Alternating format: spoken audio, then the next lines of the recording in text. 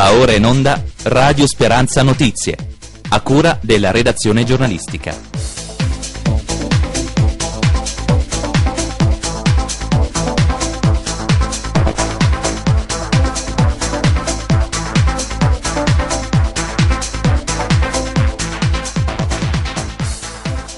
Un cordiale saluto a tutti da Massimiliano Spiriticchio al microfono, Natascia in regia e da tutti noi di Radio Speranza in Blu, la radio della Chiesa Metropolitana di Pescara Penne in onda sugli 87,6 MHz e su www.radiosperanzapescara.it. Siamo anche su Facebook dove ci potete cercare digitando Radio Speranza è stato l'inviato della Santa Sede, il Cardinal Ennio Antonelli, ad aprire la porta santa della Basilica di Colle Maggio, dando il via ieri sera alle 24 ore di indulgenza plenaria indette da Papa Celestino V eh, nel 1294 eh, che eh, scadranno questa sera alle 18.30 quando sarà celebrata la Santa Messa stazionale con il rito della chiusura della porta santa Santa. Grande la partecipazione popolare durante il corteo della bolla, nel momento eh, del passaggio fra Piazza Duomo e Corso Federico II, un eh, gruppo di esponenti del Movimento 5 Stelle ha, eh, ha srotolato uno striscione con la scritta 2009-2014, eh, eh, appunto un invito a dire, migliorare le condizioni della città dell'Aquila. E, e appunto invece si chiuderà questa sera la eh, Porta Santa nella Basilica di Colle Maggio all'Aquila, è possibile lucrare l'indulgenza plenaria eh, nelle condizioni stabilite, eh, cioè pentiti ehm, dopo essersi confessati passando appunto sotto la Porta Santa e partecipando alla celebrazione eucaristica. Verrò all'Aquila nel mese di settembre a fare il punto sui cantieri, non solo scuola, lo scrive il Premier Matteo Renzi su Twitter rispondendo a un eh, follower, cioè a uno eh, di coloro che lo seguono via Twitter e annunciando la pro- così la sua prossima venuta nel capoluogo eh, abruzzese colpito dal terremoto dell'aprile 2009. A pochi giorni dalla eh, originaria scadenza dei due concorsi donna e artigianato c'è stata una proroga al 15 ottobre. I concorsi sono stati banditi da Commissione regionale Pari Opportunità e Abruzzo Sviluppo. La proroga è dovuta al grande interesse. Il concorso, uno scatto di dignità in tre sezioni, è aperto a uomini e donne residenti in Italia, con premi in denaro ai primi classificati. Le foto devono trasmettere messaggi positivi e rappresentare una figura femminile che metta in luce la capacità di mantenere vive le tradizioni abruzzesi. Due le sezioni del concorso di idee Il futuro del passato, la sapienza delle mani, aperto alle sole donne sempre residenti in Italia e eh, anche in questo caso sono previsti premi in denaro. Il sindaco, la giunta comunale e i consiglieri comunali di Montesilvano devolveranno, come gesto simbolico, il gettone di presenza della prossima assise civica alla ricerca scientifica sulla SLA e l'adesione all'Ice Bucket Challenge. Intanto eh, l'associazione Carrozzine Determinate ha invitato politici e cittadini alla secchiata d'acqua gelata collettiva domani alle 10.30 alla spiaggia pubblica accessibile davanti a Via Dante. Per partecipare occorrerà esibire la ricevuta di versamento per la causa. Esistono altre malattie terribili o che non ricevono fondi, ricorda però l'associazione. È disponibile presso l'ufficio relazioni con il pubblico del comune di Pescara in Piazza Italia a Pescara la documentazione necessaria per chiedere i contributi che serviranno a rendere più facile l'accesso e la frequenza dei corsi nell'anno scolastico 2013-2014. Sono misure di cui possono beneficiare gli studenti, anche disabili.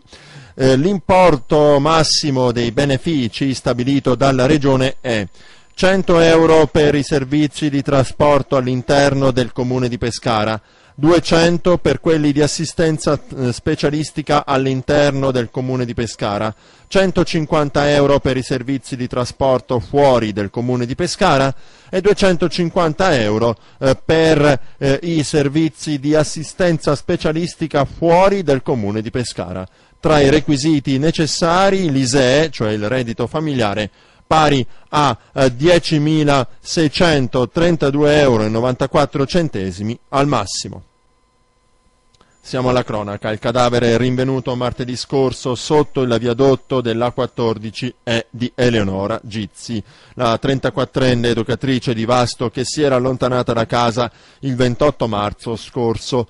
La conferma arriva dalla comparazione del DNA eh, tra la saliva dei suoi genitori e il tessuto prelevato dal corpo. Gli esami nell'ospedale clinicizzato di Chieti hanno fugato ogni dubbio a dare la notizia al papà Italo e alla mamma Grazia è stato il vicequestore Cesare Gianmaichella, dirigente del locale commissariato.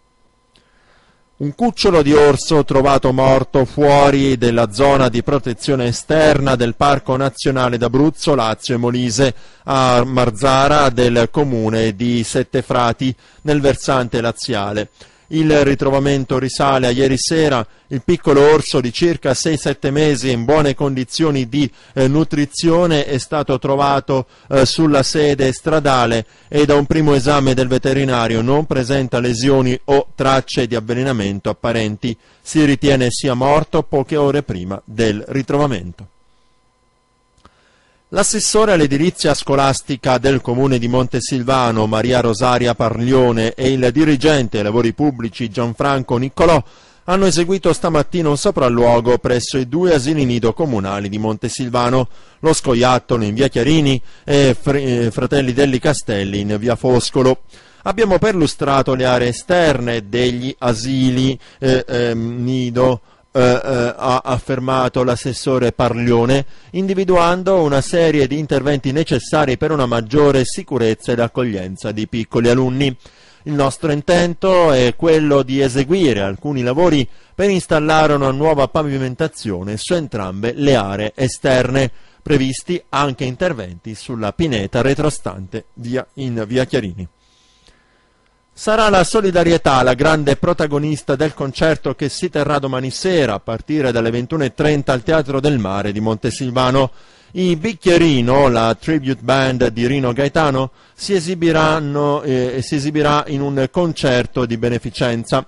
I fondi raccolti durante la serata verranno devoluti in favore del Centro di aiuto alla vita di Pescara e della nuova eh, casa di accoglienza eh, che eh, appunto è operativa eh, a, a, Pescara e che a breve eh, si eh, trasferirà effettivamente in via Valle Furci. Ne parleremo durante la nostra rubrica Servizi ed interviste in onda oggi alle 18.13 e domani alle 7.35. E si prepara una serata speciale domani, una serata di musica d'autore, talenti locali e musica di altissima qualità con la presenza di Roberto Vecchioni per un evento unico in Abruzzo collegato al premio Tenco a Pescara. Si tratta del Tenco Ascolta, presentato oggi in sala giunta alla presenza dell'assessore al turismo e ai grandi eventi Giacomo, Cucci, eh, Giacomo Cuzzi, scusate, di Paolo Talanca del Tenco Ascolta. Hanno partecipato anche i presidenti della Commissione eh, Cultura e della Commissione Commercio Emilio Longhi e Piero Giampietro. E con questo siamo alle previsioni del tempo. Stasera su Pescara e provincia si prevede cielo sereno poco nuvoloso con temperature da 22 a 27 gradi e venti deboli.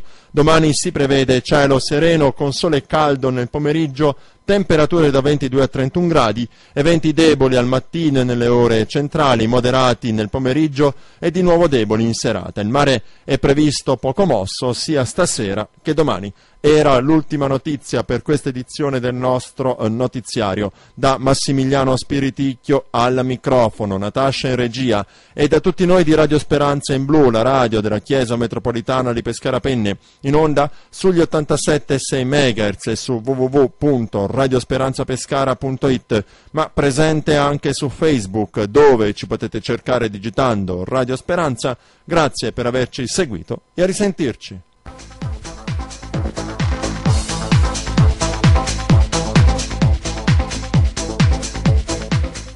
Abbiamo trasmesso Radio Speranza Notizie, a cura della redazione giornalistica.